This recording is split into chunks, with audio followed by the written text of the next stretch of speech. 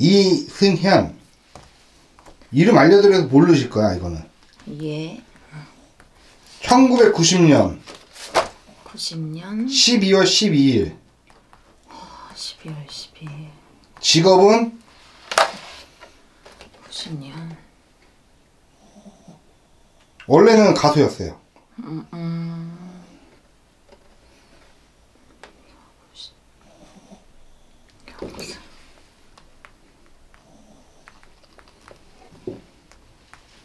운기가 있는지. 어떤 운기? 예, 뭐 좋아질 수 있는 뭐 거라든지 뭐 이분은 이 사주를 봤을 때 어떤 게 느껴지는지. 우선 나는 나오는 대로 이분 28부터 지금 29, 30까지를 이 3년은 굉장히 조심하게 넘어가야 된다고 얘기를 하시거든요. 어. 스- 28, 9, 30. 요때를 잘못 넘어가면은 근데 사업도 뭔가 크게 하셨던 분인 것 같아요. 연예인들도 사업 하잖아요. 어, 사업을 굉장히 좀 크게 하셨던 분이다. 근데 자존심도 굉장히 세신 게 이게 나의 자존심도 있지만 내 주위가 너무 빛났다고 얘기를 하거든요. 내 주위가 너무 빛나서 어 나도 빛나고 싶어 이러한 욕심들이 굉장히 컸다고 얘기를 해요. 근데 몰라 나는 음, 뭘 말아먹었다 이런 소리가 나오거든요. 말아먹었다. 어, 다 무너졌다.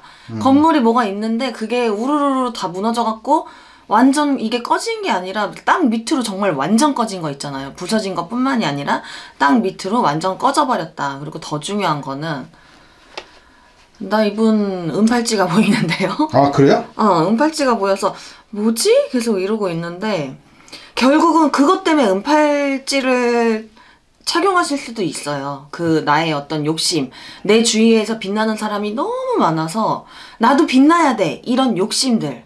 그리고 어 조금 빛나다 보니까 사람들이 막 대우를 해줘. 그래서 거기서 내가 어깨 뽕이 들어가서 좀 의시되고 하시다가 뭔가 완전히 무너진 격이다. 관제가 있다. 그렇죠. 관제가 이미 있죠. 음. 응, 응. 그래서 스물여덟, 아홉, 서른을 잘못 넘어갔으면은 이분은 정말 지금 현재 뭐 편치 못할 거다. 그냥, 그냥 까매. 사주를 뭐좀 향후 뭐. 좋아진다거나 이런 거 없나요 혹시? 좋아진다? 모시가 좋아져야 되나?